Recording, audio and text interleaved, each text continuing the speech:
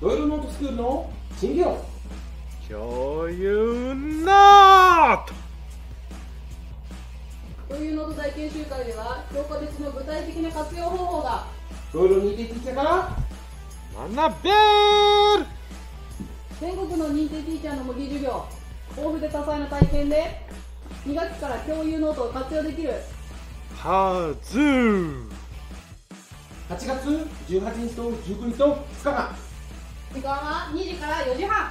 オンラインで参加費は無料。申し込みが必要です。日程はこんな感じ。